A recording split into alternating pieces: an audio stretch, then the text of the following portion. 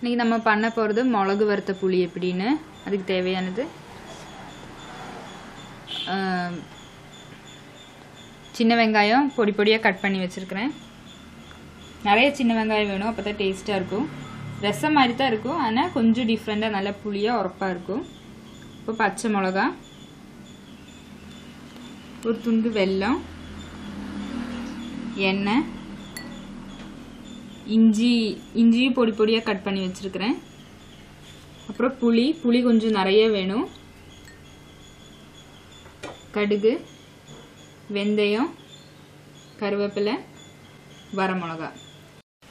உப்பு தேவையான அளவு தண்ணி. இது எப்படி பண்ணுறதுன்னு பார்க்கலாம்.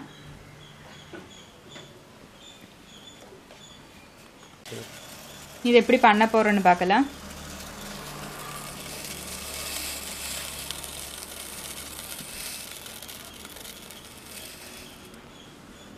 கடாய் சூடாயிடுச்சு எண்ணெய் விட்டுக்கல அதில்.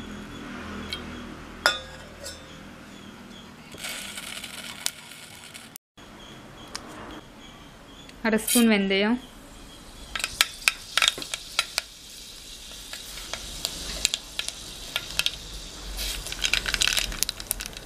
கடுகு.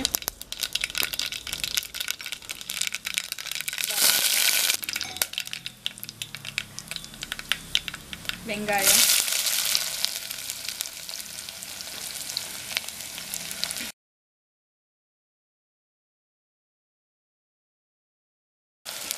இஞ்சி.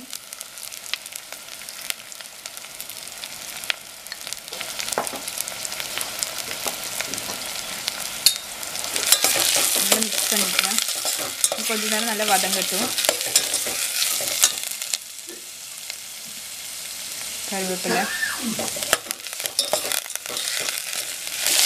இது வதங்கினதுக்கப்புறம் அந்த புளி தண்ணி கரைச்சது அதை ஊற்றி கொஞ்சம் கொதிக்க விட்டுறலாம். இந்த அளவுக்கு புளி எடுத்து நல்லா கரைச்சிக்கலாம்.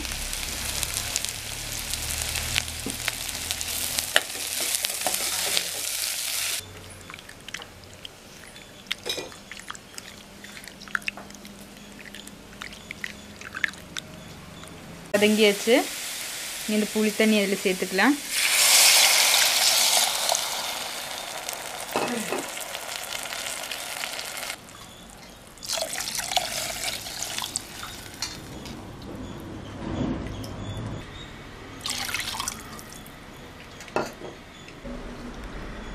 இதில் நம்ம தேவையான அளவு உப்பு சேர்த்துக்கலாம்.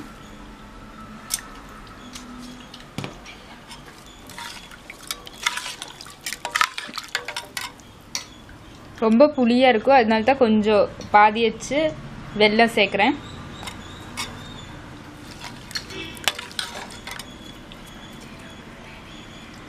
இதில் குருமிளகு ஜீரகம் எல்லாம் தேவையில்லை. ரசம் மாதிரி ஈஸியாக வச்சுக்கலாம். இன்னும் நல்ல டேஸ்ட்டாக இருக்கும். சாப்பாடுக்கு சாப்பிட்றதுக்கு நல்ல உரப்பாக இருக்கும். நல்லா கொதிச்சு சுண்டட்டும்.